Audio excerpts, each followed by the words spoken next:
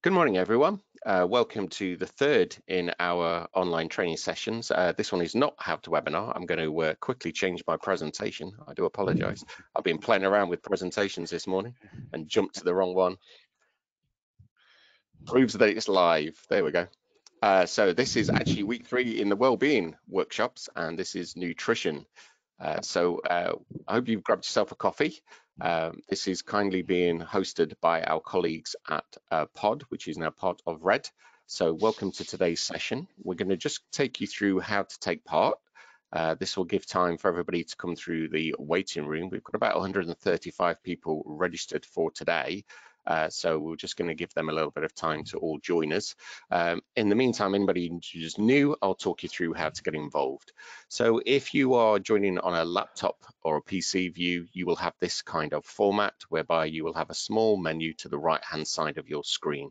You can open and close the control panel menu by clicking on the red arrow at the top. Um, and when you click, it will expand or it will close it down to allow you to see uh, more of the actual main presentation. Uh, when you're doing that, uh, go through to if you need to ask an actual uh, question, if you want to send a question in to us, you can do this. Uh, have your control panel open you may first need to click on the small white triangle next to the word questions in order to expand the question box. Uh, then into the question box, type in the question you want to send to us and don't forget to press the send button though.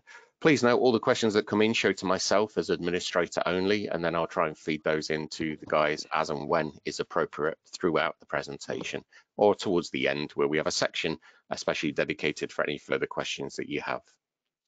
So you can send those in at any time. Um, if you're using a mobile device, uh, such as a mobile phone or a tablet, your view will be slightly different. Your menu will appear slightly differently. So the look out for the big question mark at the top. Uh, once you click on that, it will open a question panel. You can enter your question and don't forget, of course, to press send to send it through. Uh, please bear in mind if you can't see uh, your options, all you need to do is to run your finger over the screen again just to bring your menu options back into view. Now, uh, there is a video in today's presentation. It's only a short video at one point. The presenter will launch the video, but when they do, please bear in mind two things don't change the uh, layout. If you're viewing on a mobile device, it's important you don't change orientation at that time because if you do, it will go back to the beginning of the video and you'll be out of sync with the rest of the presentation. So try and keep your mobile device in the same orientation for when the video plays. Uh, the videos do take a moment or two to play, so just bear with the presenter and then they'll launch those and you will see them. Uh, if there's any sound issues, please note sound is fixed and has been tested from this side, so is all okay. If you are uh, struggling to hear or it's too loud, you'll need to change your local sound settings on your own device. Uh, there are a couple of polls in today's session. So when the poll launches, it will appear across the screen a bit like the one on the test panel now. Uh, choose your answer, and then all you have to do is press submit. And if you try and do that as soon as you possibly can.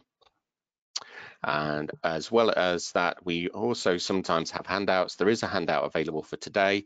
At the end of the session, I'm sure uh, John, the, the, main presenter today, will remind you about this handout, which is available. Uh, you go to the handout tab on your panel, uh, click the white triangle again, and on a mobile device, look for the document tab and then click on the individual document and follow your own local device's instructions for download. Please bear in mind, uh, you will need to download the document before the end of the webinar uh, to get the handout. And then there is a short survey right at the end, as soon as the uh, webinar closes. There is a short short survey. If you can stay on the line, please do so. Take part in today's survey. It should only take you about five to 10 minutes to complete. We do read all of the answers that come back in um, and we feed those back to our colleagues over at uh, NFE Group as well. Uh, so please uh, take your time to fill in that survey and remember uh, just to press send at the end of the survey to make sure that the completed one goes through. If you miss it on today, there is another opportunity to take the same survey in the follow-up email that will come out tomorrow. Uh, so now I'm going to hand over to our speakers. As usual, joining me today from the NFE group is Andy Neal and Ian Westmore, who's in the background. Uh, and then we've also got a special guest presenter today, John Sunderland Wright, who I'm going to hand over the screen presenting rights to. Uh, so if everybody could just bear with me, I'm going to pass those over to John now. And then I'm sure uh, Andy is going to introduce him and talk about today's topic.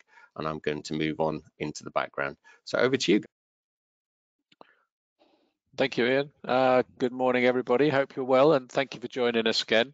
And thank you for all of your feedback from last week, uh, which was very good and uh, very pleasing for us because we put quite a lot of effort into these things. So it's nice when we get some good feedback.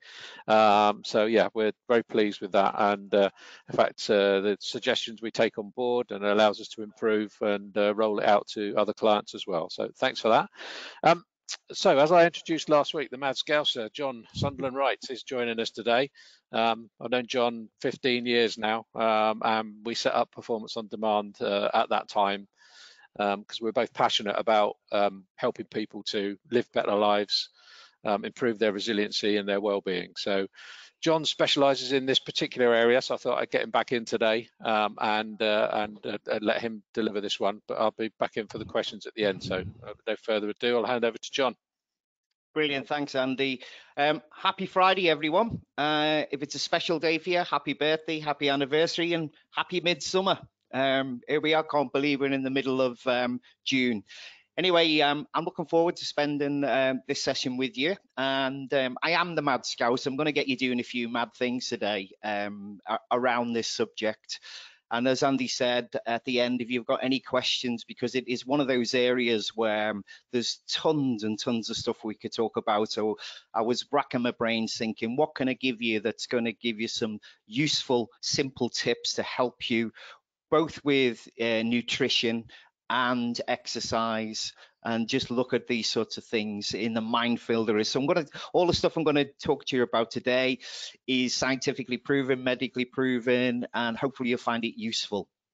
So really, I know you've had two sessions already with Andy and you've looked at some uh, thing around the heart. And last week you spent a fair bit of time looking at fatigue and sleep and the effects on the brain. And I just want to put this sort of thing into some context. So just hopefully this will go. So what are the origins of health? Um, as you can see in front of you, this is called the illness wellness continuum. And the NHS use this to just sort of measure where we are as an individual in relation to our total wellness. Um, and really the origins of health are all about medical factors that support human health and well-being. And um, just looking obviously on a scale here, if we're down here, if we get ourselves ill, we're going to plonk down to this area here, and then we'll go and seek some sort of help and support through the NHS, and they'll give us some therapy, some drugs or treatments, and hopefully push us into the middle part here, the fives and sixes. And this is an interesting, because a lot of us fall into this area if we're not well. And this is called false wellness. You, you're not sick, but not really healthy either. And you'll see here the higher levels of wellness, and so good health, seven, eight, nine, you'll see there's very simple factors that promote that. I'm, i know you, you know all of this, it's not rocket science. So regular exercise, good nutrition, being educated in understanding what's good for us, what isn't, uh, and minimal nerve interference. And obviously, that's not about talking about people who do your head in, who, who annoy you, uh, although it can be. But it is about dealing with stress and the and the, the factors that cause us to get a bit annoyed. Um, so obviously, if we're ill, we're going to get ourselves down this end and then we're going to seek some treatment. Obviously, we'll go to the NHS, and it's interesting here. We call about the National Health Service. Actually, we don't have a National Health Service. What we do have is a National Illness Service because actually their main job is to help us when we're ill to bring us fat and actually about 99% of the entire budget of the NHS is spent on helping people who are already ill and therefore it's less than 1% is spent on the education of helping people to improve wellness. So what I'd like you to do right now, and obviously we can't hear you um, at all, but I want you to look across that continuum And where would you score yourself right now on that scale? Where would you be? I just want you to reflect on that. Now, brilliant if you're up here at 10 i'd love you to be 10 and obviously you're doing things. You've got that wellness lifestyle. Obviously if you're ill you're going to be down here and you're seeking treatment. But i'd say a good majority of people are here. And really what we're going to do today is i'm going to give you a few things that to hopefully try to inspire you to start maybe going to if you're a six what would it take for you to be a seven? What little steps can you take to help improve your your wellness? Because the the, the benefits are huge for you and all of us. And you'll see that I've, I've, I've put the little thing current account and I often talk about wellness as having a current account and opening a current account that's called my own health and well-being and actually, with a current account, um, one of the key things to keep it healthy is to make deposits. And really, what we're going to talk about today is simple little things you can do that don't take that much time. That you're going to put healthy deposits into that that account, because actually there are already things that are coming out of that account, and we don't want to get it into uh, a withdrawal. So, uh, so that you're withdrawn in that account. So anything that we can do to help that will really be move you towards the right hand side. So we're going to look at a couple of areas today to help you with that and hopefully you'll find it useful. So um, Andy, you remember talked in the first session about your heart and showed you the breathing in for five and out for five and showed you on the um, heart software the positive effect that had on heart rhythms. Um, the health of your heart and of your brain go hand in hand. They are massively linked. And um, what I'm going to do today, and I thought about this a lot, I thought, why don't I just spend a little bit of time looking at both the health of your heart and some things that you can do to really improve cardiovascular health and circulation. And also, I'm going to give you some great tips to help the uh, health of your brain. And actually, I'm going to share with you some of the latest research in neuroscience around how we can massively improve the performance of our brain. And the upshot of that is as we age, we can make significant improvements to its performance. And the research shows that it does help stave off dementia. Um, so they're the two areas I'm going to talk about today in this little session. And don't forget at the end, any questions around this, please do send them through to Ian, the administration, and we'll try our best to give you some great answers uh, around that. So what I thought I'd do, first of all, is just start and look at the human heart the ticking time bomb. Um, so the big issue for um, cardiovascular health are the risk factors that cause us all maybe to have uh, some heart issues. Um, it's still one of the largest killers in this country, although over the last 30 years we've got better and better at treating it. The, you'll see here, these are the big risk factors, um, and you'll know about cholesterol. I'm actually going to focus a tiny little bit uh, a bit later on on improving the good cholesterol, uh, HDL. Um, but what I'm going to um, talk about today, I'm going to look at slight bit of stuff on diet and how to help that. We're going to look at the sort of uh, risk factor from uh, abdominal obesity, and we're going to look at obviously you can see the exercise, the um, the lack of exercise increases risk. So obviously we exercise, and I'm going to show you some key little things that you can do uh, to help you. So that's what we're going to focus on today. I'll just post down. So first of all, though, let's talk about this whole thing about uh, our metabolic rate and basal metabolic rate. Um, you see there the CICO, the CICO effect, and all that stands for is calories in and calories out.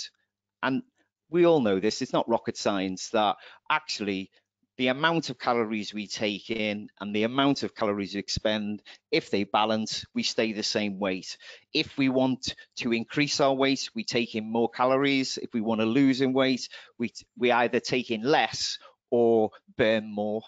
It, it, it's very simple. So, but what's basal metabolic rate? Now, this is the amount of calories that each and every single one of us need every day just to exist. Now, if you just lay down on a couch and did nothing all day, your body still needs calories to burn to enable the key organs in your body to be able to function. So there is a set amount of calories that each of us need to take in every single day, and that's called our basal metabolic rate. And I'm going to show you how to calculate calculate this now and give an example of, of, uh, of my own basal metabolic rate and show you then how uh, if I need to lose weight, how many calories do I need to drop to, or if I need to gain weight? Now, this this calculator we've got for you, you can download it so you can work out because each and every single one of us is an individual.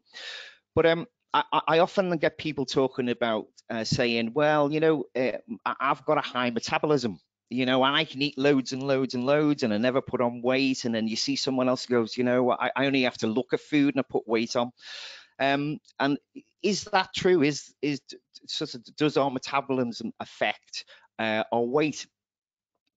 Actually, there's little evidence for that.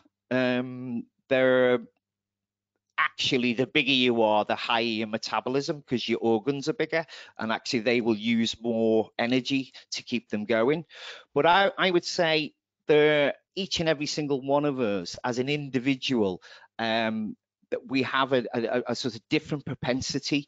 There are factors to do with our muscle mass, how you burn uh, calories, whether your body burns more fat or more sugars. Um, there's something around something called leptin, which is a hormone that we produce to make us feel hungry. Some people produce more than others. Um, there's all the, your overall fitness. All of these take come into account. So really, there's just two types of people: people who are uh, have a prone to be obese and those who aren't based on the the way your body works. So what i'm going to do is i'm going to show you how to calculate this now. Uh, now hopefully we'll go straight to this. I'm just going to get rid of you guys. Just with escape that. Okay so um basal metabolic rate it's a quite a bit of a calculation. Uh, male, female here. Um, you can do it in uh, metric or imperial measures. So I'm a male, last time I looked. So I know, I weighed myself this morning, I weigh 70 kilograms. That's exactly 11 stone. Now, I'm not the tallest of guys. I'm five foot six, so it's 168 centimeters, and I am 57 years old. And I know you're looking at me going, no way, John, are you 57? No, I'm 180.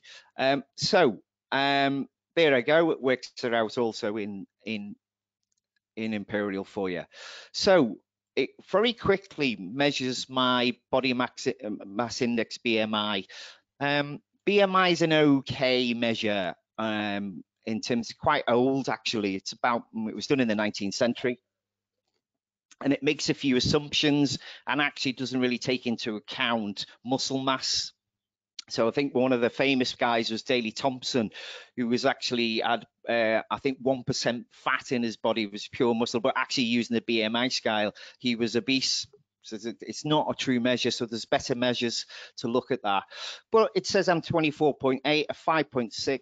Technically, okay, I'm right on the edge. And I know myself really um, at 11 stone at my thing, I could do with probably losing about I don't know, three kilograms, which is half a stone, and make me that will push me back into that grey area, which is fine.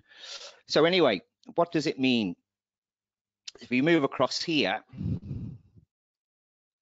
it says that if I just sat lying down all day and did nothing, I still need to take in 1262 calories per day just so I stay exactly the same as I am. But none of us lie down and do nothing all day. We're busy doing stuff. So we need to add in a factor of how much exertion we display during the day. And that's called the Harris-Benedict factor form, uh, formula.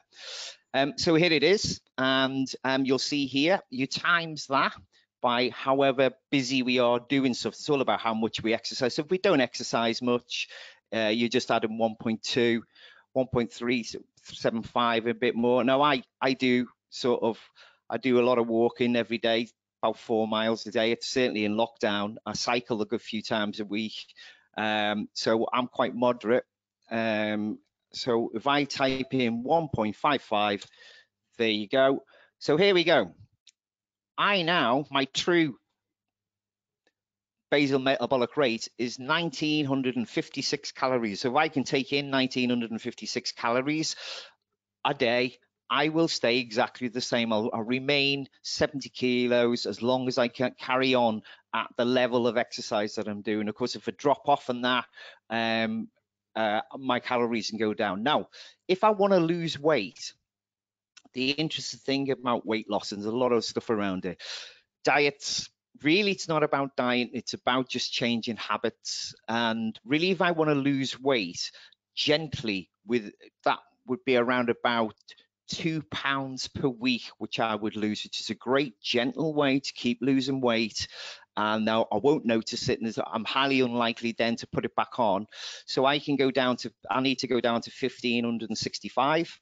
Now it is a caveat here with that 1565 calories in a balanced diet. If I ate 1565 calories of cake, I'd be in trouble. Um, so it's about the balance between the two. Obviously, if I'm underweight, I can go up more. So if I want to put a bit of weight on, I can up the calories.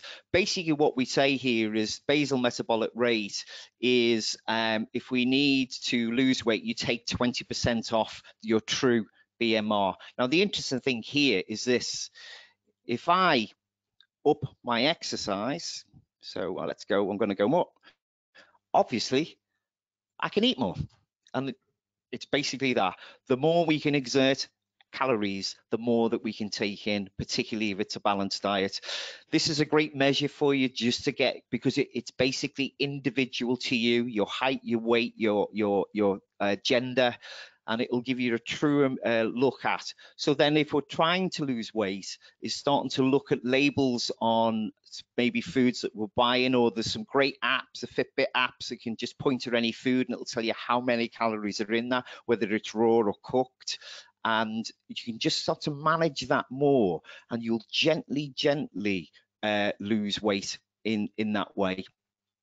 So as I say, we've got that for you. There we go. Okay, so that's a little bit on basal metabolic rate. So it appears oh, that's better. Sorry about that, just locked up. So there are two tests for us, two tests to help us and thinking, am I overweight and what's John, the risk? John, yeah. John just needs to go to presenter view, mate. Oh, thank you very much. Is that, you got that now? Is that okay? Yep. That's it. How thank big is your waistline? Yeah, brilliant. So thank you very much. Thanks for that, Andy.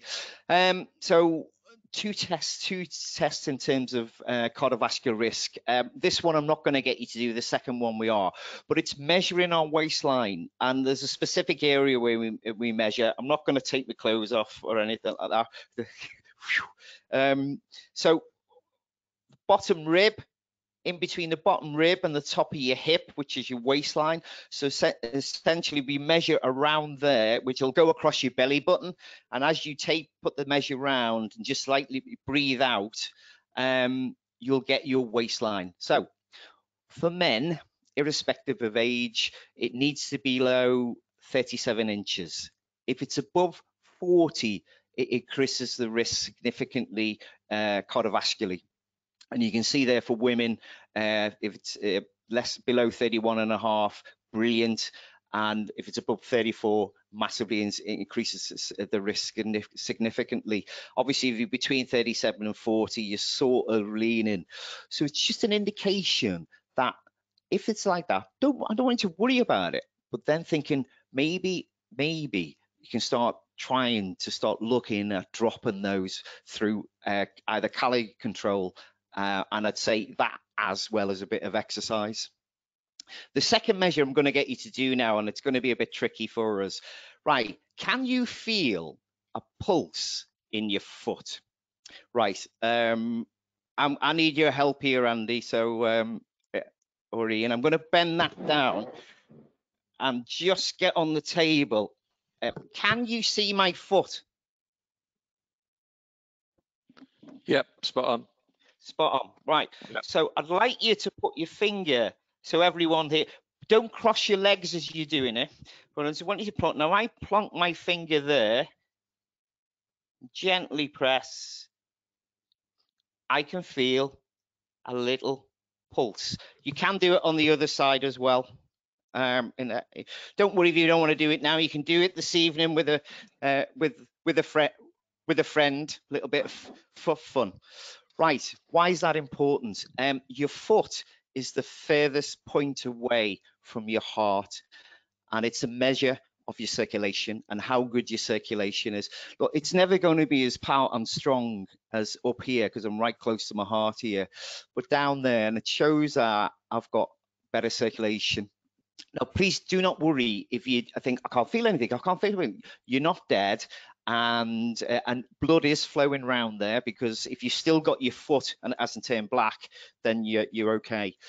Um, circulation. How do you improve circulation? It's quite simple actually. And I, I, thought I'd put this in for you guys. And maybe I know you're in lockdown at the moment, but your job is all about sitting down all day in a car and a vehicle and, and watching people. And, and it's great you do that, but it's obviously putting issues on. So circulation is affected by sitting down. So one of the things is to try and stand up, because just literally standing up and walking around helps the circulatory system and literally, if we can stand up for an hour to an hour and a half a day, um, it really will help boost that. Um, so I know it may be difficult to, to but literally maybe if, in between lessons to stop and go for a little walk, and at the end of a lesson when you're having a gap is maybe get out the car and do a stand up. It depends on the weather. I know certainly you wouldn't want to been doing that in the last 24 hours with the rain as it has been down south but really is a great little indication. And slowly but surely, you'll start to notice that um, you'll get a stronger and stronger pulse in your foot through improving circulation. And again, during lockdown now, it's a great time to maybe start to get yourself walking about, moving about more, um, and that will really help you. So they're the two key tests that we do. They're very simple, but then just give you an indication of where you are and maybe something that you might like to do about it but we all have choices. Of course, we have choices, and um, it must be difficult for you guys when you're when you're working is uh, nutrition and food and picking things up because obviously you're, you're, probably doing lessons in the morning and lunchtime and then definitely in the evening when people are available. So how fitting in decent bits of food for you. But the thing is uh, one of the big rules in nutrition and Badagwai, we, we, we talk, we use the word nutrition and not eating because not everything you eat is nutritious, as you guess. Now, look, some of those things you think yummy. They, by the way, they taste lovely and, and they're, they're quick and easy and available. But one of the big rules of thumb is food uh, that looks beige.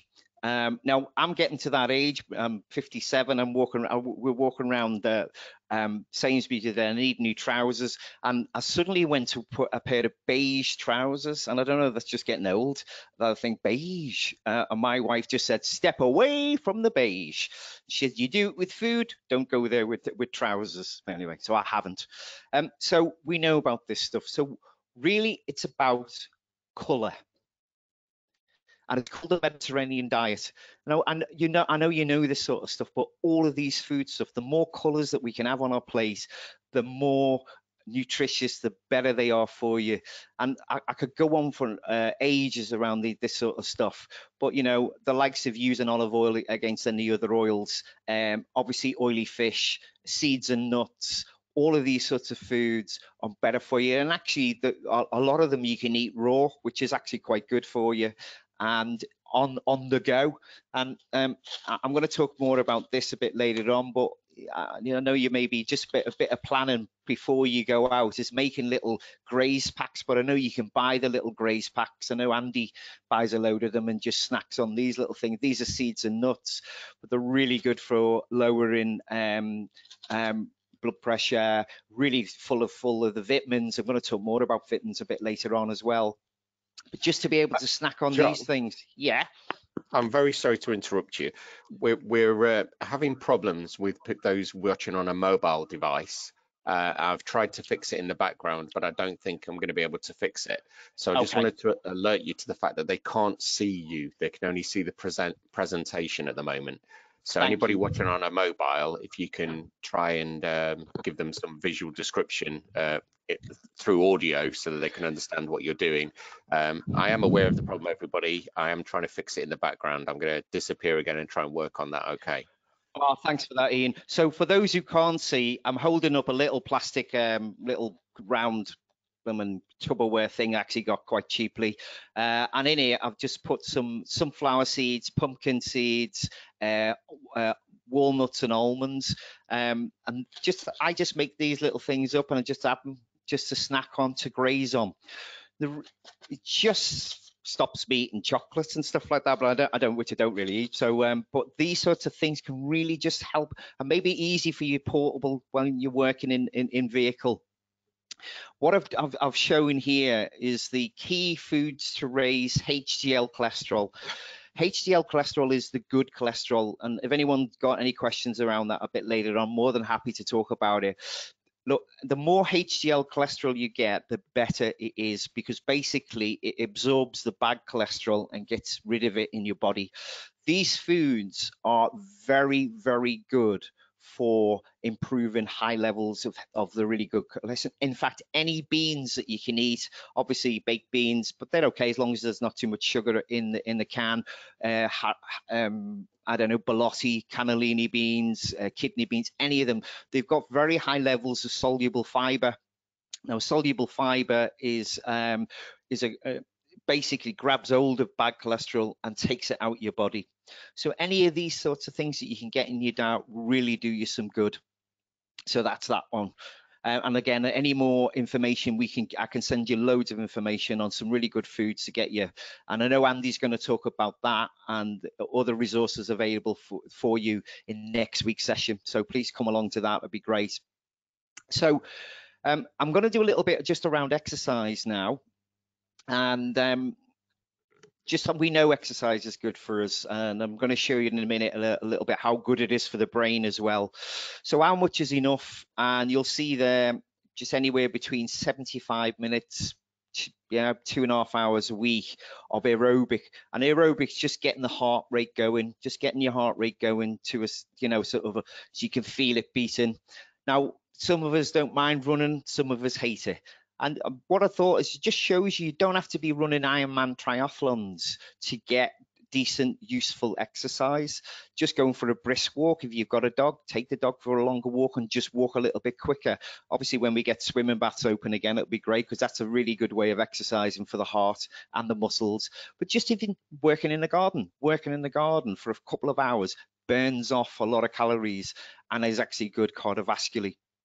But I, have got a little issue about exercise, and then if you've never done exercise for a while, is like how how much should we raise our heart rate up? So what's good for a heart, maybe what isn't? So we're going to get to our first poll now, and hopefully I'll be able to do that. Um, da, da, da. Select a poll. Okay and I'm going to launch a little poll. So uh, when exercising, when exercising, is it okay for your heart to rise to what? Go on, what do you think? What's it safe to do?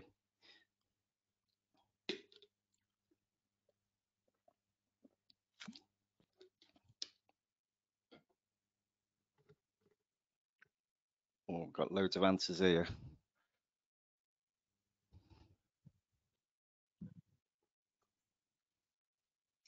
Oh, we got a good 60% of your vote, 63. I'll give you a few more seconds to vote. Very good. This is some cracking answers. Uh, okay. Oh, we got 75% vote at 74. So I'm going to close the vote. Okay. Thank you for everyone who took part of that. And I'm going to share it now with you. So can you all see that? Yep. So we see uh, brilliant. Uh, every uh, quite a lot of people have gone in for that mid 131 thingy, but we've got a, a good mix across all. It doesn't matter that uh, as long as you're fit. That's a it's an interesting answer actually. Right, you are all right and you're all wrong. so I'll stop that now, I'll unshare it. so why is that? The interesting thing about heart rate and exercise is, and this is why we worry a little bit, is it's to do with our age. Just bear with me, just need to um, I got one of those nuts stuck in my throat. right, so safe exercise heart rate range. So what we do is you take 220 beats a minute. That's absolute maximum the human heart can go to. And obviously, hopefully not many of us can get there. What we do straight away is you take off your age. So uh, let's do me again. I'm 57. So my maximum heart rate should be 163 beats a minute.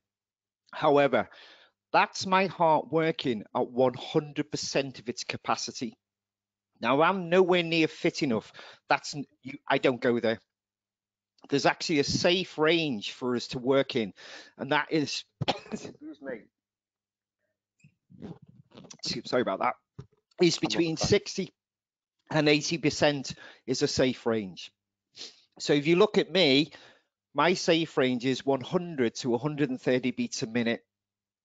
Now, the fitter I get, I can go beyond 130, but I never go to 163. But I only do that in short periods. Sorry about that.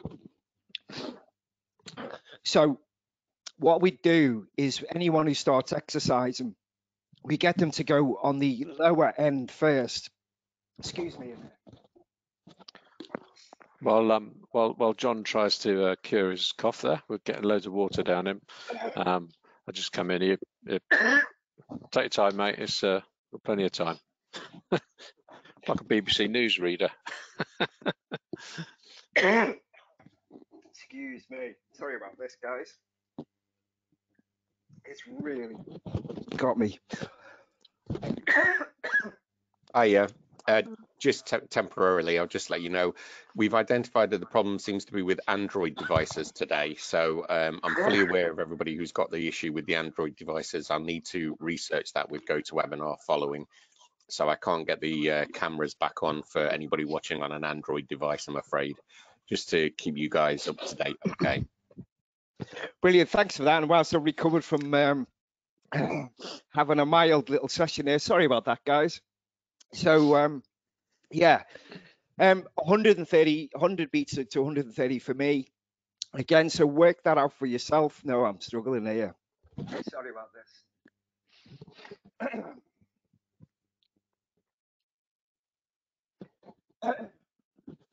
oh, there you go.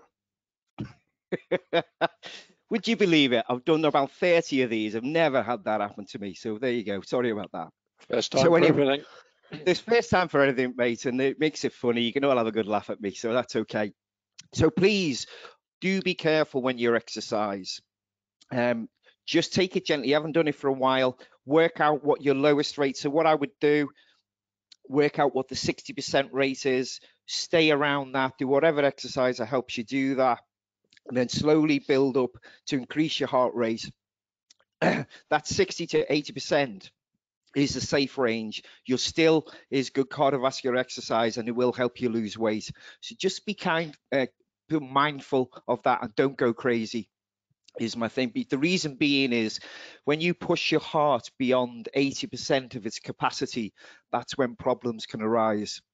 So just be careful. Um, so that safe range is, is really key. So let's do something now about helping you in terms of uh, exercises to relax you. Now, the interesting thing is, I know you're, you know, like doing some sort of cardiovascular exercise. The problem for you guys is sitting in the car, well, probably like that, and obviously it's your posture. So what I thought I'd do is I've got a video in a minute, but I'm going to take you through something called progressive muscle relaxation. Just very, very simple, uh, easy exercise to do that you can do in vehicle. But also, it's these exercises are very good to help us go to sleep. And um, so, um, if you know the guy, uh, Dr. Michael Mosley, is often on BBC. he swears by this as lying in bed, helping you relax the muscles and helps you sleep. So linking to what Andy was talking about last week, but actually it's just good to get rid of the stress of your muscles. And again, you can do it in your car.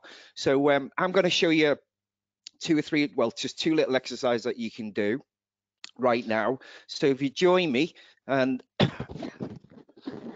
can get my voice going again. So if you put your arms out like that for us, you can see me. And if you can't, for those who can't see, is put out your forearm, stretch them out in front of you uh, at sort of shoulder height. Open your palms up. Now, what I'd like you to do is I'd like you to squeeze your your hands in as if you're squeezing a lemon like that and tighten up your forearms okay? Now what you're going to do is i want you to pull your arms towards your chest with them tight.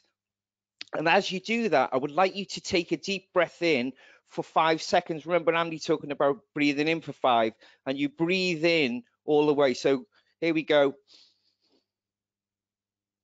Okay and then breathe, relax your arms, go and take them back and relax and open out and breathe out for five. So let's do that again. In, breathe in.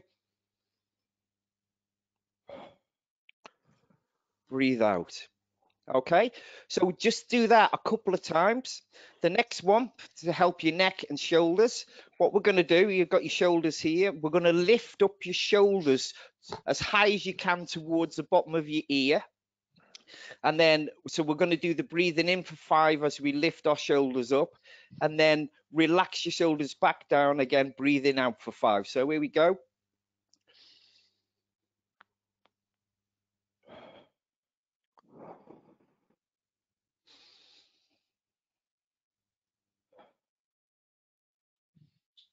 And again, just do that a couple of times. What we then do is progressive muscle relaxation. We go to your abdomen and I'm not going to make you do this now, but basically you would just pull your abdomen in, keep on pulling it in, um, hold that, and then breathe out, let it go out again for that. And then go down to your legs and it's your, it's your feet. Basically, what you do is you tighten your calves and uh, and then you pull your feet towards your shins, breathe in, and then relax them just two times around those four things will help you um, be able just to relax the muscles, strengthen them a little bit. And it's a good little thing just to relax your in, in, in vehicle and just help your posture a little bit. Now, another one I, I thought we'd do is um, just give you this video now. And if I can remember, where do you go for the video? Spare with. I've got it. Here's this little exercise video.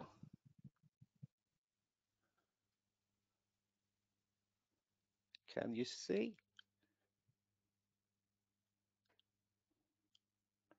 Yeah, it is opening, John. Just you might need to press the play button down on the bottom left-hand side. Got you. Thank you. Hi, I'm Christine Ely, Employee Health Promotion Coordinator at Mayo Clinic, Arizona. Today we're going to demonstrate some stretches that are going to help reduce stress and tension in your lower back and your torso. To stretch your upper back and side, interlace your fingers, lift your arms straight up over your head, and slowly bend to the side, feeling the stretch. Come back up to center and stretch to the other side.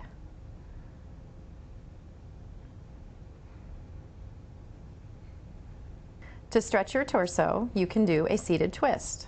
First, sit up straight, keeping your hips stationary. Twist all the way from your lower back all the way up to your head by looking over your shoulder. You can grab onto the armrest or the back of the chair while stretching. Relax, slowly return to the starting position, and repeat on the other side.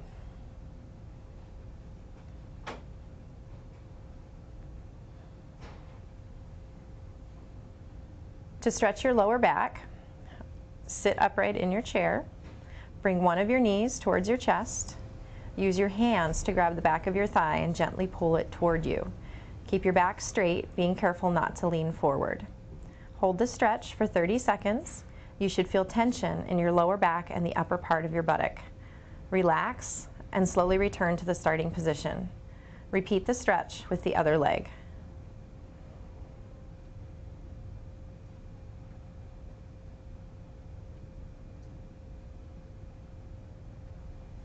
To stretch out your hips, while sitting, cross one ankle over the knee on the other leg. Sit up tall and gently lean forward. Relax and slowly return to the starting position. Repeat the stretch with the other hip.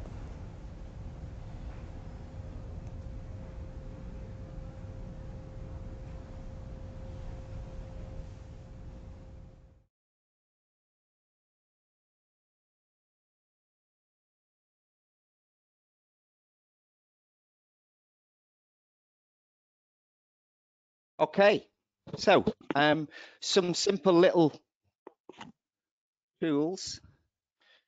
It seems to have, uh, bear with. La, la, la, la, la. All right, can we see that now? There you go. Brilliant. Just thought we'd give you some little things to help you just to maybe in the vehicle or just anytime, just sitting gently, couple of minutes, just to get those stretches to get your posture going um, and try them. And we'll give you some more links to other things uh, in some materials that Andy's going to uh, talk to you about a little bit uh, next week. So brilliant. So um, we're on the little last bit now, and I want to spend just a little bit of time on uh, your brain and fueling your brain and some things that you might find uh, that useful for uh, brain health. Um, we don't often talk about thinking that we need to do anything for our brain. Um, however, um, in the, oh, can you see that? Yep. Okay, thank you. Um, in the last 20 years, uh, neuroscience looking at what's going in in the human brain has, has developed and developed and developed. Um, our understanding of how the brain works is significantly uh, improved um, due to MRI, CT scans, and stuff like that. And um, this whole thing about um, brain performance as we age. Now, you'll see here what I mean by brain performance is all the cognitive functions, uh, concentration, focus, memory, uh, reaction speed, uh, spatial learning ability, all the good stuff that we do generally as we age, you'll see the bottom uh, line, the black line there. As we age, well, as you see, when we're younger, we reach a peak around about 30 to 35, and then you'll see we're on the slippery slope and off it goes. However, that doesn't necessarily have to happen to us. Um, there's a wonderful piece of research done about five years ago in the United States, and it was looking at improving cognitive function in people between the ages of 68 and 85 years old. Um, something called neuroplasticity, is the ability of your neurons or the, your brain nerve cells to be able to keep on connecting uh, no matter how old you are. Um, and what they did, they gave them seven or eight key things to do every day that are known to bring out a very specific hormone called brain derived neurotrophic factor, which is called BDNF. You'll see that it's an absolute critical thing. Now, we all produce BDNF in our brain. The more that we get it, the higher levels of performance we'll get. Now, what they noticed is in after six months of these people, and they were testing them every single month, they noticed after month six, 80% of all of them showed significant improvements in every single cognitive function and their brain had started to grow. And this is in an 85 year old. It was actually an 85 year old male who had the same cognitive function as a 22 year old by the time it had finished. Now, he was quite good to start off with, but that was a big ramp up there were a number of people who were uh, showing uh, the signs of onset dementia, okay, on the slippery slope all of them went into remission and got better. So there's more work around this that needs to be done. But what they may do is basically um, redraw this graph. If we can get more BDNF out, we get the higher level here. So what it does, you'll see, is it significantly increases performance. It gives us higher levels of resilience, and it delays disease, and that's the big one. So what I'm going to do is I'm going to show you what the blooming heck did they do to enable that to happen, and it's really, really easy, and it links to cardiovascular health as well. This, so you you heard Andy talk about water last week and a little bit of hydration. Uh, your brain is 73% water. Water actually is a cr critical thing, critical thing and it's simply just between a litre and a half and two litres a day uh, can help you help your brain. In fact, if you're only 2% dehydrated, just two, it has a 20% impact on every single cognitive function in you. So you lose one fifth of the entire performance of your brain if you're just 2% dehydrated and quite a lot of people are around about it, the the acid test is have a look uh, at the color of your urine and um, if it is uh, darker than Pinot Grigio wine, I'm sorry that's your tipple, you're dehydrated. So just get some water in you. Now we've talked a little bit about exercise and its importance for cardiovascular health. I cannot tell you how good exercise is for the brain. Um, as soon as you exercise, your heart releases a hormone called atrial natriuretic peptide, peptide ANP. That goes from your heart straight into your brain and it releases tons of BDNF.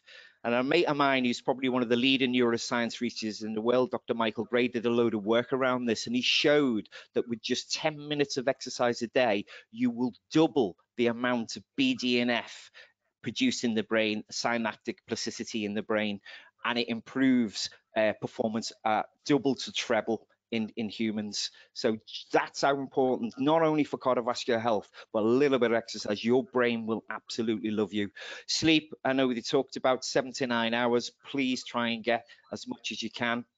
Now, parent essential oils, uh, you might not know them as that. Um, omega-3, omega-6, omega-9, omega-12.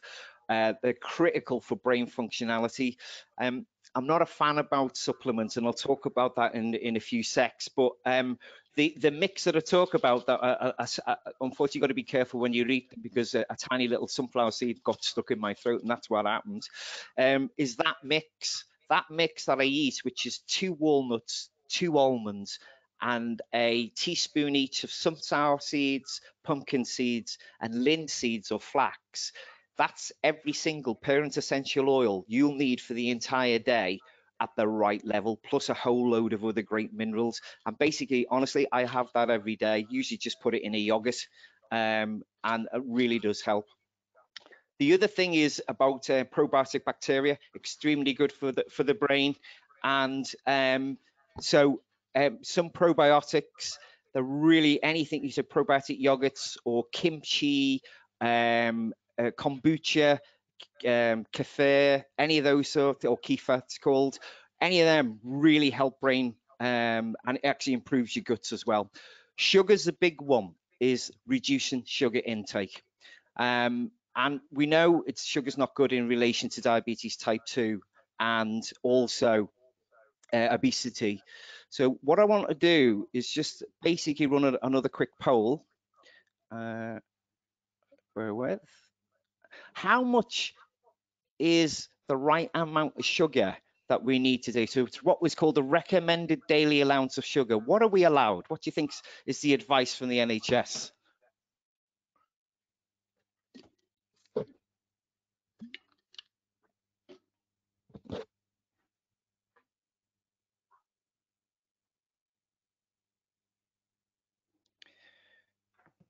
Mm.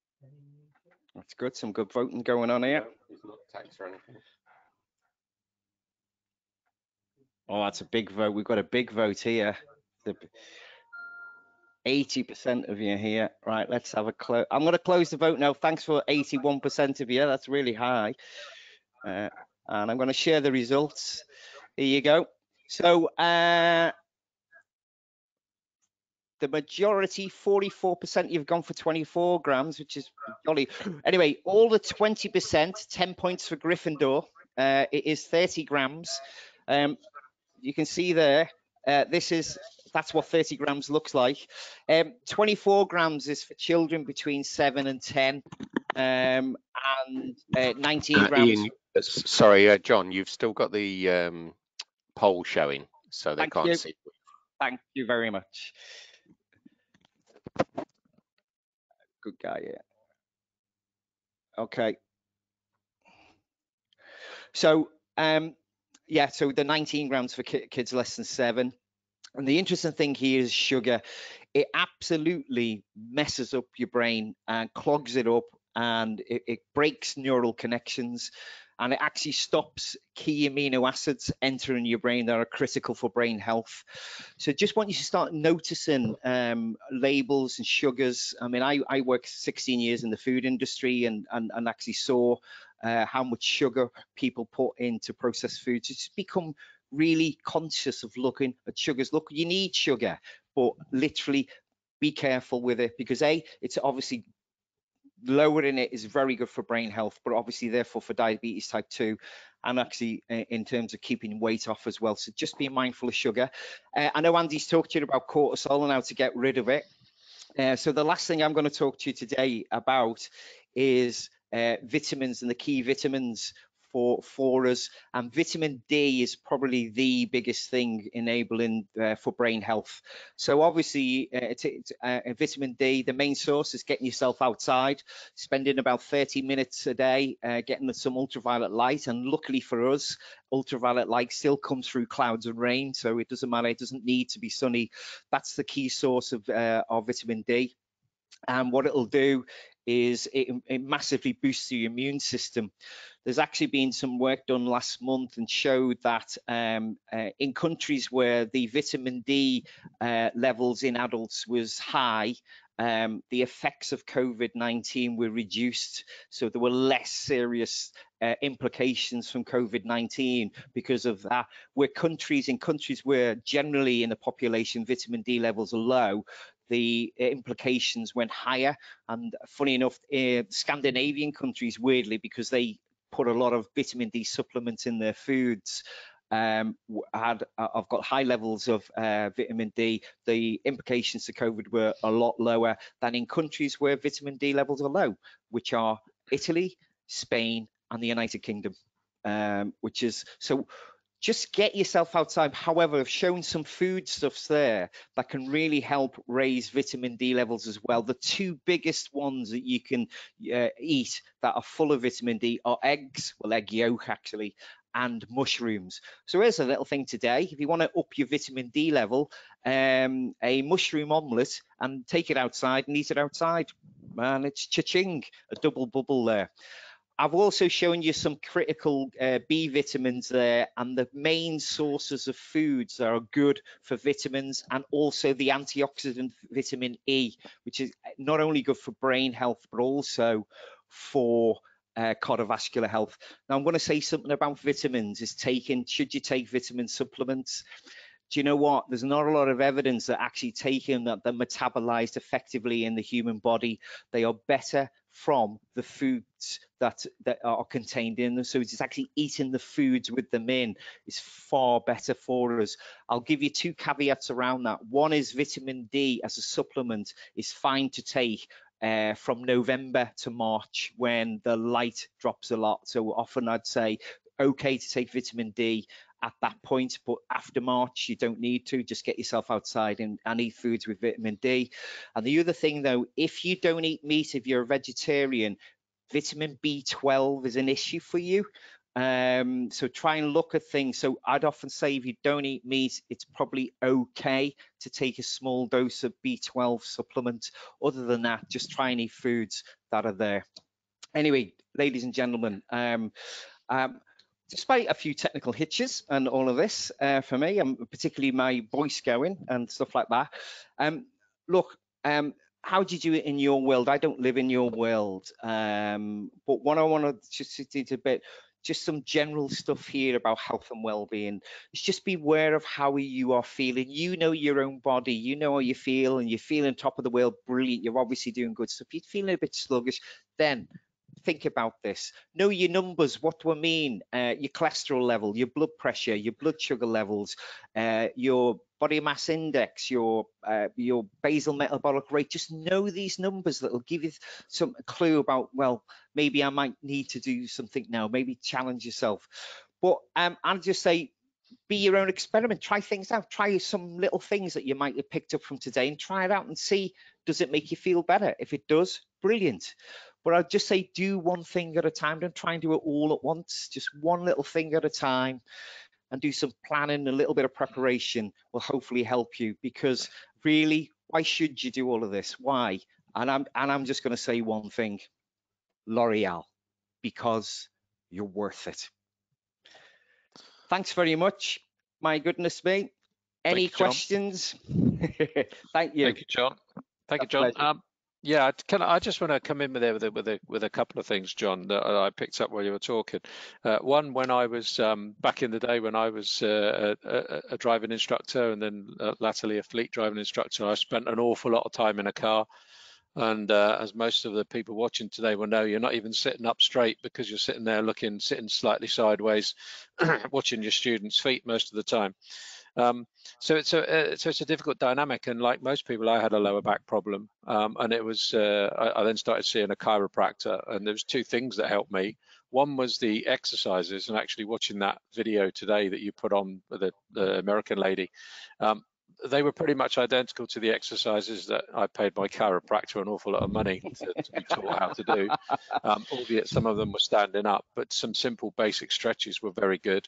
Um, and the second thing was uh, losing three stone in weight when my best mate dropped dead on the golf course aged uh, 69, um, when there was nothing wrong with him. And I suddenly realized I was overweight. I was 15 stone for the first time in my life.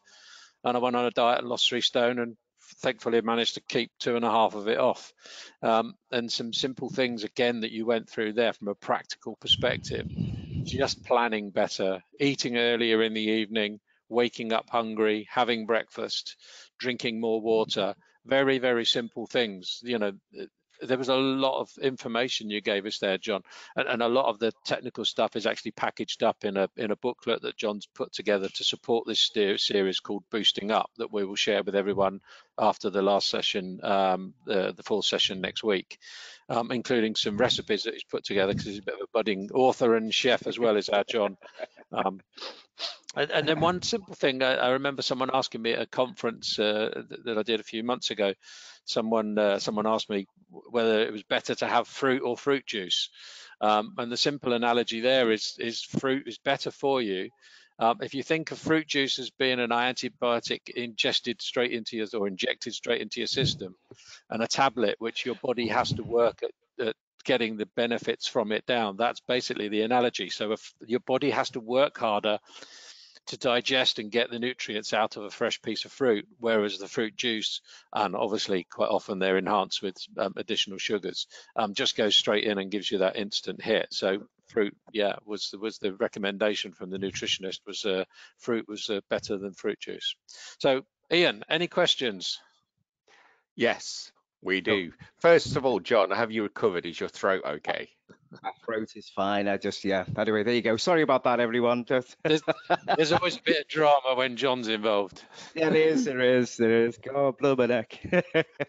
I'd like to apologise to everybody watching on an Android device because it seems that they've not been able to see your face today, unfortunately. So they haven't, heard... they have, they haven't missed anything at all, Ian. um, couple of questions related to that though. One is, could you um, explain how many calories are in that small pot of nuts and seeds that you take as a snack pot? Yeah, there is about 200 in that small pot. Just about 200. That's way within that. And if you're thinking about it as well, taking Andy's point here, because I'm going to have to because you see a seed here, there's a little pumpkin seed. Um, my Don't body's going. Uh, I'm not going to do it again. Uh, you know what? I just went. I'm just going to have a little sunflower seed, and that's the thing that got stuck in the back of my throat. So be careful with these, by the way, because um, um, I'm going to have to chew it, and it's going to go into my digestive system. My body will work like hell to break it down, and actually, I don't metabolize it all. Um, so some of it will come out. It's got fibers that my body will get rid of. Uh, so it's got um, what is called uh, insoluble fiber, so it helps roughage. Um, it's got soluble fiber, but yeah. So even though there's 200 calories there, I'm going to say something about calorie counting as well. Actually, it's a good point. It's not accurate. It never has been. It is. It was developed by a guy called Atwell in in 1809, and we haven't changed it. Um, so when you see calorie counting, it actually slightly overstates. But there's a caution here.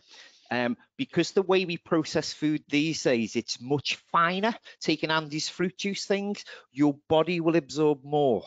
So the more raw food, the more stuff that you can eat, um, that helps your body break down, the less calories you'll take in. So I'd often say if you're calorie counting, cut yourself a bit of slack. Um, really, because you tend to over egg it a bit, but the, just try and keep within it and the balance. It's the balance between all of those things. So your fats, your sugars, your carbohydrates and stuff like that two two good other points for calories. One, get yourself a pair of reading specs um, because they're always in very very small writing on the yeah, bottom of every yeah. packet of everything you ever buy. They are. Um, uh, which is one point. The second thing is we talked about Fitbit last time. Uh, on the Fitbit app, there's also a calorie counting thing, um, and also another one that I use is MyFitnessPal. And actually, if you put into MyFitnessPal Sainsbury's prawn mayonnaise sandwich, it will tell you how many calories are in there, and it adds it up for you during the day and it even then takes your steps off and adds in your exercise. So as John was saying earlier, you know, if, if, if you can have 1900 calories a day, it takes into account the amount of exercises you're doing. If you're carrying your phone for MyFitnessPal or you're wearing a Fitbit watch, it will take that in.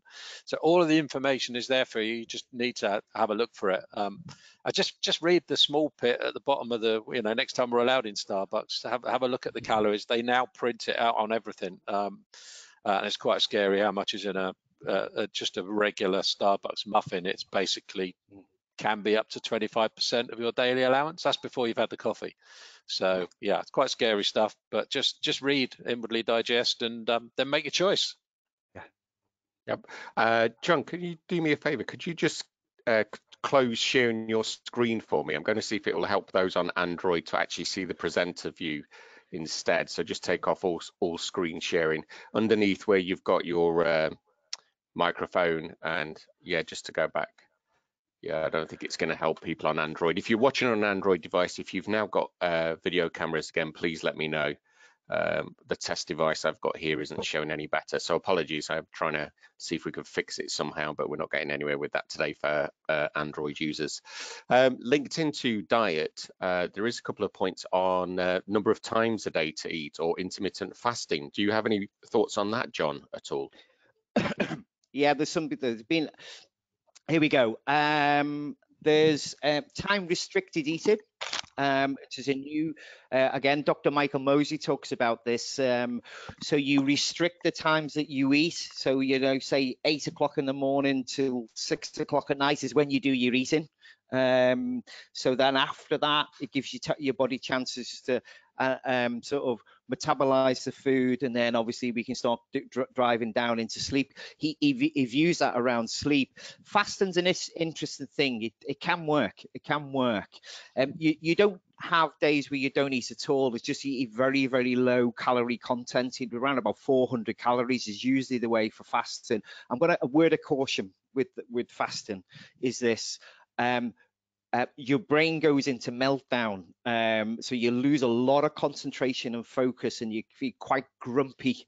Um, so um, just I can I can do that for Andy because he's shaking. I can remember him doing that big dive. He was really grumpy. Um, so they can work. They can work. It shocks the body a little bit, but you know you sort of do the four and two. It's dropping. Just I'd always say if you on a day when you are fasting, try not to be doing anything that's really sort of taxing or avoid people.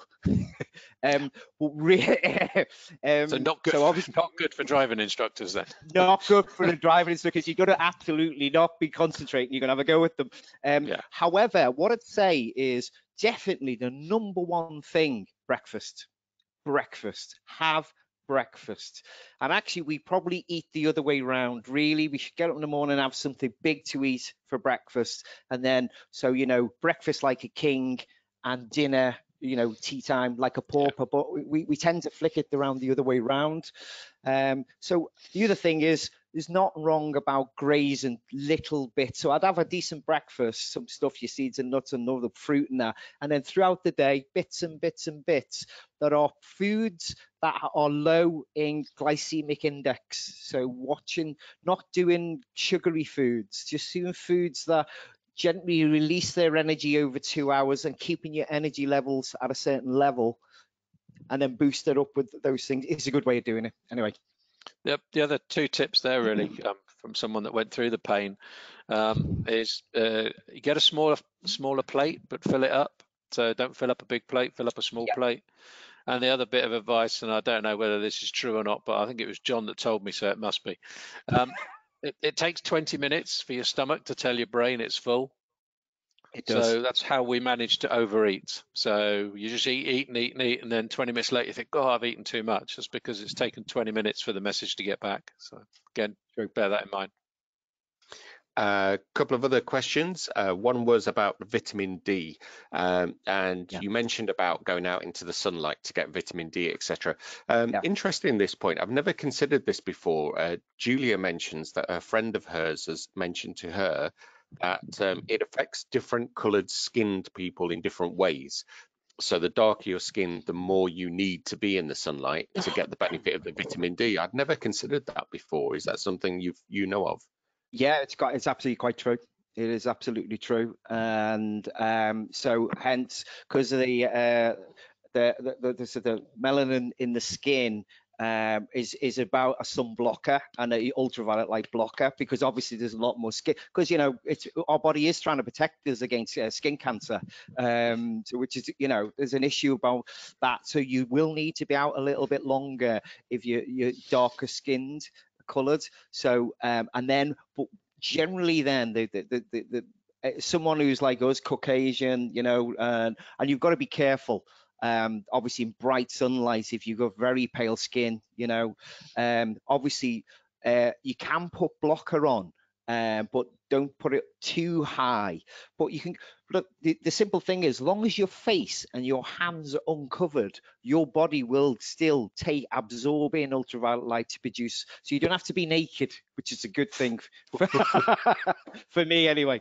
Um, and actually, don't forget, it doesn't need to be sunshine. Certainly yeah, now, it's just daylight. It's just daylight, and through clouds, particularly in summer, our problem in this country in the northern hemisphere come when the clocks go back at the end of October. It is um, we are vitamin D deficient, so he's just trying to get some supplement. Then is fine to do. It, it, it's obviously a very good thing that we don't have to be naked because an awful lot of naked driving instructors running around is a sight I don't even want to contemplate. Uh, I'm sure wouldn't go down very well with our customers. Uh, there was another New marketing idea for Andy Mitchell there.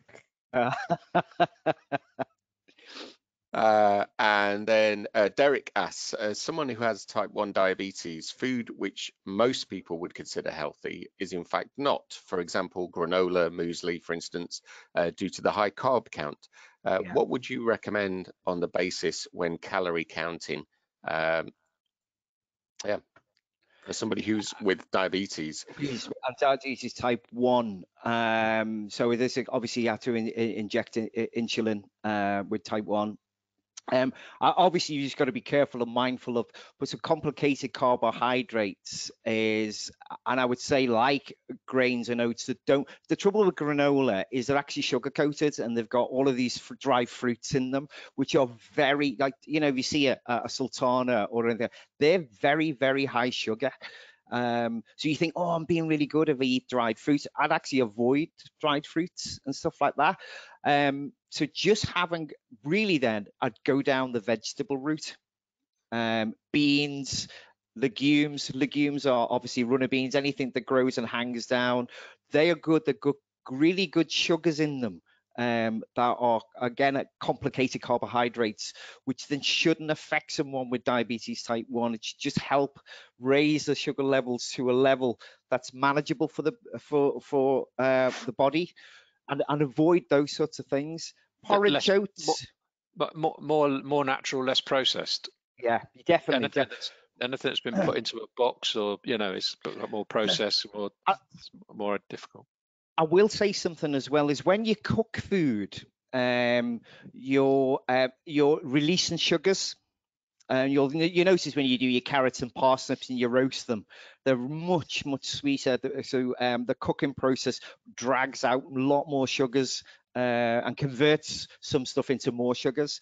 So actually, raw foods, um, one are uh, are better in some ways. Got to be careful with meat and fish, but um, the, obviously, but um, raw foods, you don't take as many calories in at all. You don't absorb as much sugars in them. So obviously, when you're eating salads, so I, you know when I'm having a salad, I'll get a, a red cabbage and a white cabbage, and I'll chop them up fine and plonk them in. I'll put raw vegetables into salads, a lot more crunchier, and I'm, I'm reducing the sugar intake, but I'm actually also helping the body. It's just another thing. You know, too much cooked food maybe is not always good for us.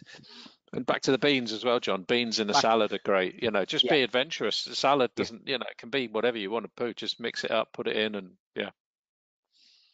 Uh, good. I think a couple of things going back to the vitamin D again, and something that I can't remember if was mentioned in the presentation or not.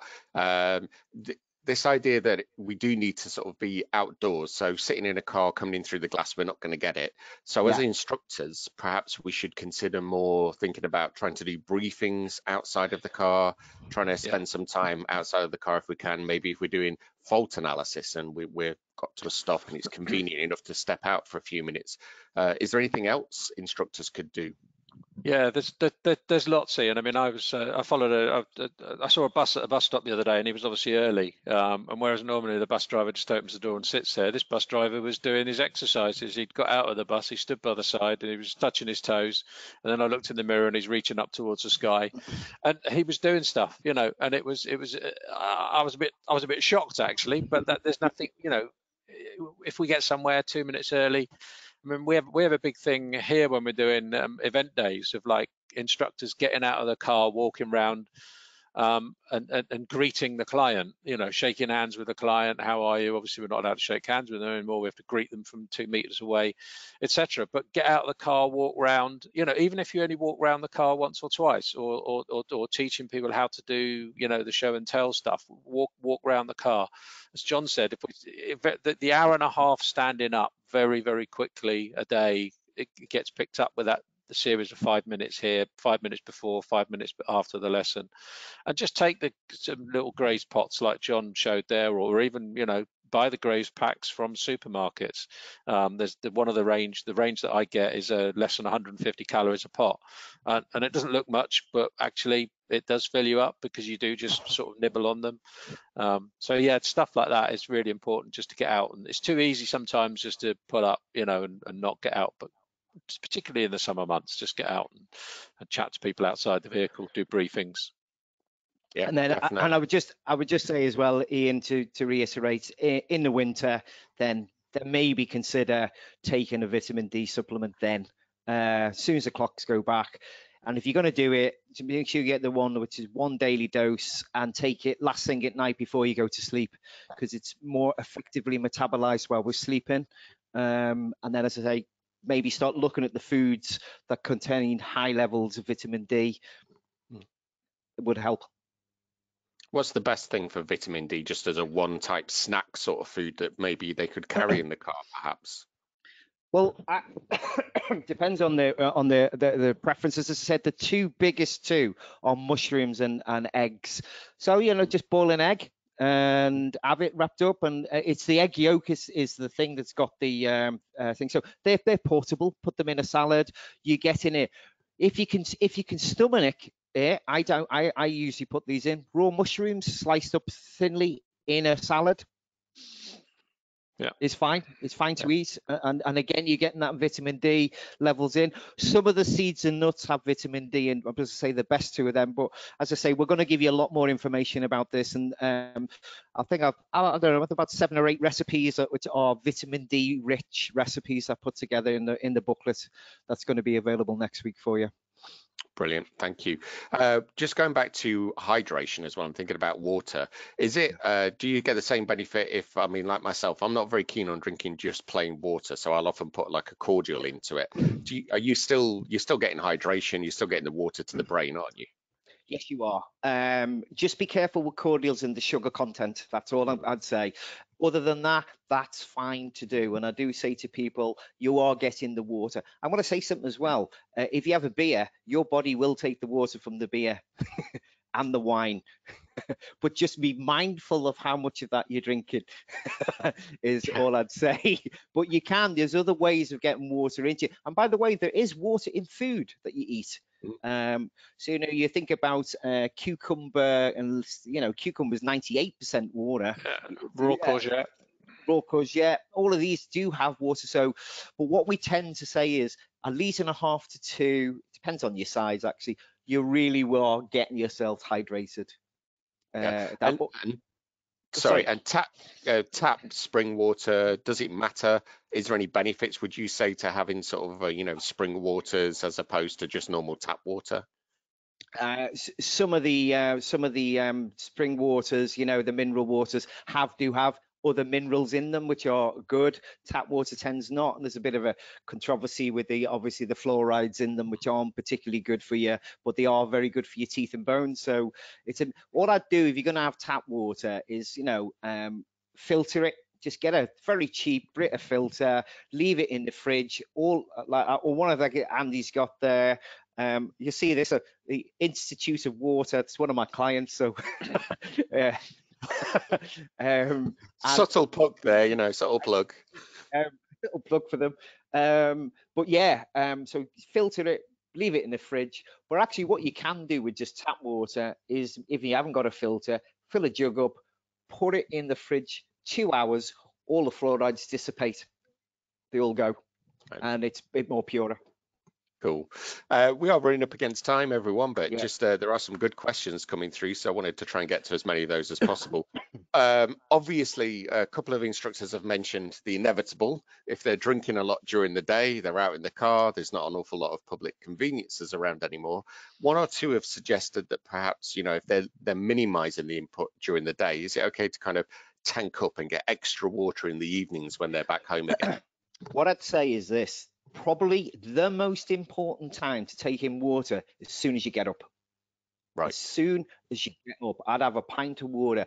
And the reason being, you are massively dehydrated when you wake up. We all are, every single human, because don't forget your body's still working and it's been lying there for 10, uh, well, eight, nine hours, hopefully, uh, sleep, working away. Because you'll know when you first tinkle in the morning, um, the smell of sugar puffs and bright orange stuff comes out. Sorry about that, but we are. We're all human. Um, you're massively dehydrated. So that's probably the most important. I'd have a pint of water myself then, get your metabolism going, and then minimize it through the day. Yeah, and then back on it. Not too much late at night because mm. we don't want you waking up wanting to go to the toilet. I'd rather you sleep.